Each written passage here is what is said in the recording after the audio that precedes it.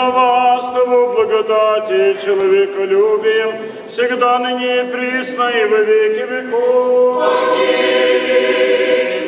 Торжественное богослужение возглавляет благочинный церкви Ивантеевского округа протеерей Иоанн Монаршек. Сегодня в храме праздник особый, престольный, День Смоленской иконы Божьей Матери. Церковь намоленная, ее построили еще в 1808 году.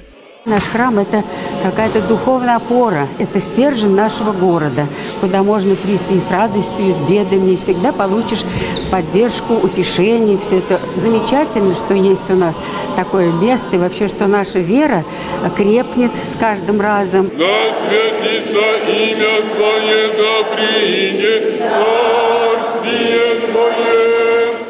В годы гонений на православную церковь нашему храму досталось сполна. Именно здесь служили новомученики ивантеевские Александр, Николай и Павел.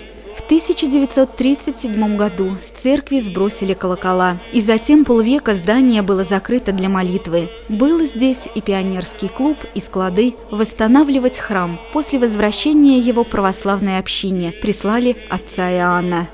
Много мусора было, не было пола, ничего на стенах не было, только цепь висела от этого паникодила.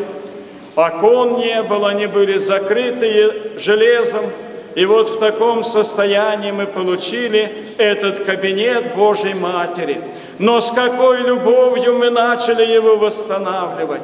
Первая служба в отреставрированном храме, которую осветили в честь Смоленской иконы Пресвятой Богородицы, была совершена 30 лет назад, в 1989 году. Сегодня благочинный благодарит за праведные труды всех, кто сохранял тогда и продолжает сохранять сейчас веру православную в Авантеевке. Для главы города Максима Красноцветова протеерей Иоанн приготовил особый подарок – икону «Скоропослушница».